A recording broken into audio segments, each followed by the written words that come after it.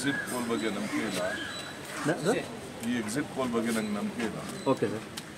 ನನ್ನ ನಂಬಿಕೆ ನೂರ ನಲವತ್ತೊಂದು ನಮ್ಮ ಸ್ಯಾಂಪಲ್ ಸೈಜ್ ಜಾಸ್ತಿ ಇದೆ. ಎಕ್ಸಿಟ್ ಪೋಲ್ ಸ್ಯಾಂಪಲ್ ಸೈಜ್ ಕಡಿಮೆ ಇದೆ. ಕಾಂಗ್ರೆಸ್ ಪರವಾಗಿ ಒಂದು ದೊಡ್ಡ ಗಾಳಿ. ಎಕ್ಸಿಟ್ ಪೋಲು ಒಂದೆರಡು ಮೂರು ಟಿ ವಿಲಿ ಮುಂಚಿತ ಕೊಟ್ಟು ತಿರ್ಗಾ ವಾಪಸ್ಸು ಇಪ್ಪತ್ತು ಕಡಿಮೆ ಮಾಡಿದ್ರೆ ನಾನು ಗಮನಿಸಿದ್ದೀನಿ. ಯಾವ ಕಾರಣಕ್ಕೂ ಕಡಿಮೆ ಆಗಲಿಕ್ಕೆ ಜಾಸ್ತಿ ಆಗಲಿಕ್ಕೆ ಕಾರಣನೇ ಹೊರತು ಕಡಿಮೆ ಆಗಕ್ಕೆ ಯಾವ ಕಾರಣಕ್ಕೂ ಚಾನ್ಸ್ ಇಲ್ಲ. ಸೊ ಎಕ್ಸಿಟ್ ಪೋಲು ನಮ್ಮ ಬಗ್ಗೆ ವಿಶ್ವಾಸ ತೋರಿಸಿದ್ದಕ್ಕೆ ನಂದೇನು ತಗೊಳ್ಳಲಿಲ್ಲ ಅವ್ರಿಗೆ ಅಭಿನಯಿಸ್ತೀನಿ ಬಟ್ ಏನಪ್ಪ ಅಂತಂದರೆ ನೀಚಿತವಾದಂಥ ಬಹುಮತ ಕಾಂಗ್ರೆಸ್ ಪಕ್ಷಕ್ಕೆ ಬರ್ತದೆ. ಇದು ನನ್ನ ಅಚ್ಚರವಾದಂಥ ನಂಬಿಕೆ.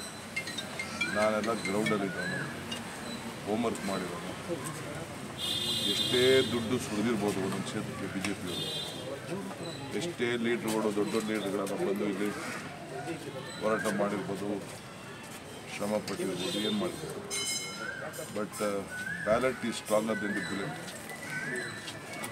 ballot is stronger than the bullet ಈ ದೇಶಕ್ಕೆ ಸ್ವಾತಂತ್ರ್ಯಕ್ಕೆ ಹೆಂಗೆ ಜನ ಬುಲೆಟ್ ಗೆದ್ದಿಲ್ವೋ ಹಂಗೆ ಇವತ್ತು ಹಣ ಡಬಲ್ ಇಂಜಿನ್ ಸರ್ಕಾರಕ್ಕೆ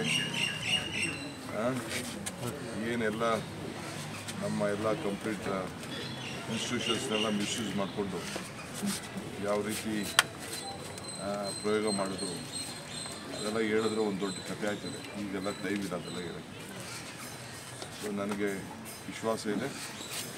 ನಾಳೆ ಒಂದು ಗಂಟೆ ಅಷ್ಟೊತ್ತಿಗೆ ಎಲ್ಲ ತೀರ್ಪುಗಳು ವಿಷಯ ಬರ್ತದೆ ಸರ್ ಅತಂತ್ರ ಆಗಬಹುದು ಅನ್ನುವಂಥ ನಿ- ನಿಟ್ಟಿನಲ್ಲಿ ಕೆಲವೊಂದು ಸಿದ್ಧತೆಗಳು ನಡೀತಾ ಇದ್ದಾವೆ ತೆರೆಮರೆಯಲ್ಲಿ ಅನ್ನುವಂಥದ್ದು ಸರ್. ತೆರೆನೂ ಇಲ್ಲ ಮರೆನೂ ಇಲ್ಲ. ಹಾಂ.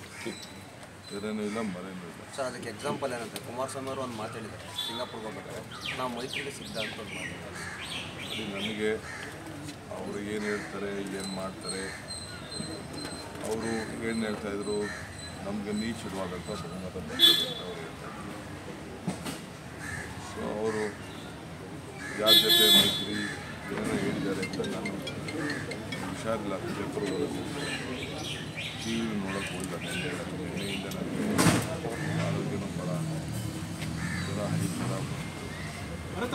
ನಾವು ಇಷ್ಟಿಗೆ ಚುನಾವಣೆಗೆ ಮುಂಚೆ ಕುಮಾರಸ್ವಾಮಿ ಅವ್ರು ಮಾತಾಡ್ತಾರೆ ನಮ್ದು ಏನಾದ್ರು ಬಹುಮತ ಬಂದಿಲ್ಲ ನಮ್ಮ ಪಕ್ಷನ ವಿಸರ್ಜನೆ ಮಾಡ್ತೀವಿ. ಈಗ ನಮ್ಮ ನಾವು ಮೈತ್ರಿಗೆ ಸಿದ್ಧ ಅದನ್ನೇ ಹೇಳ್ತಾ ಇದ್ದೀರಾ ಕುಮಾರಣ್ಣನ ಇದು ಕಾರ್ಯಕರ್ತರಿಗೆ ಅವ್ರ ಲೆಕ್ಕಾಚಾರ. ನಾನಂತೂ ರಿಟೈರ್ಡ್ ಆಗೋ ನಾನು ನನ್ನ ಪ್ರಾಣ ಇರಗಟ್ಟ ಆರೋಗ್ಯ ಚೆನ್ನಾಗಿರೋ ಗಂಟ ಹೋರಾಟ ಮಾಡೋ ನಾನು ಜನರ ಅವರು ನಾನು ದಳದ ಕಾರ್ಯಕರ್ತರಿಗೂ ಕೇಳ್ಕೊತೀನಿ. ಮುಂದಕ್ಕೆ ವೇಸ್ಟ್ ಮಾಡ್ಕೊಟ್ಟು ಹೀಗೆ ನನ್ನ ಜೊತೆ ಸೇರ್ಕೊಟ್ಟಪ್ಪ ಅಂತ ಹೇಳಿದ್ದೀನಿ. ಇವತ್ತು ಹೇಳ್ತಾ ಇದ್ದೀನಿ. ಸರ್ ಬೇರೆ ಏನಾದರೂ ಸಾಧ್ಯತೆಗಳಿದಾವ ಸರ್ ಅವ್ರು ಹೊರಗಡೆ ಹೋಗಿರುವ ನಾನು ಯಾಕೆ ಅವ್ರ ಲೆಕ್ಕಾಚಾರ? ಪಾಪ ರೆಸ್ಟು ಆರೋಗ್ಯ. ಈಗ ನನಗೆ ಆರೋಗ್ಯ ನಿಂತೋಗಿದೆ. ನನಗೆ ಒಂದು ವರ್ಷ ದೊಡ್ಡವರು ಅವ್ರ ಆರೋಗ್ಯ ಪಾಪ ರೆಸ್ಟ್ ಹೋಗೋದು ತಪ್ಪೇನಿದೆ.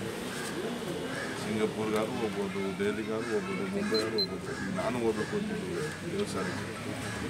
ನನ್ನ ಲೆಕ್ಕಾಚಾರ. ತಿರುಳಾ ಮನೆಗೆ ಹೋಗ್ಬೇಕು ಅಂತಿದ್ದೆ. ಅದೇನೋ ನಮ್ಮಲ್ಲಿ ಬೇಡ ಅಂತ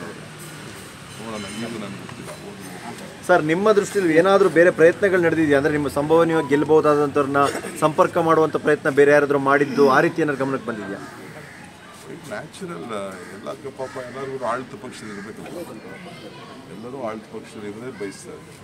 ಸರ್ ಈ ಈ ಬಾರಿ ರೆಸಾರ್ಟ್ ರಾಜಕಾರಣ ನಿಲ್ಲುತ್ತಾ ರಿಸಲ್ಟ್ ಬಂದಾಗ ರೆಸಾರ್ಟ್ ರಾಜಕಾರಣ ಈ ರೆಸಾರ್ಟ್ ರಾಜಕಾರಣ ಈ ಇಪ್ಪತ್ತೈದು ವರ್ಷಕ್ಕೆ ಮುಗಿದೋಯ್ತದೆ ಆ ಎಲ್ಲ ಪಾರ್ಟಿಯವರು ಕರ್ಕೋತಾರೆ ಎಂ ಎಲ್ ಎಗಳೆಲ್ಲ ಒಂದು ಕಡೆ ಸೇರಿಸ್ತಾರೆ. ಸೇರಿಸ್ಕೊಂಡು ಅವರ ಒಗ್ಗಟ್ಟು ಪ್ರದರ್ಶನ ಮಾಡ್ತಾರೆ. ಏಕೆಂದರೆ ಅವರು ಬಿ ಜೆ ಪಿಯವ್ರು ಹೇಳೋರಲ್ಲ ಎಷ್ಟೇ ನಂಬರ್ ಬಂದೇ ಸರ್ಕಾರ ರಚನೆ ಮಾಡ್ತೀವಿ ಅಂತ. ಇದು ಈಗ ಅದು ಭ್ರಮೆ.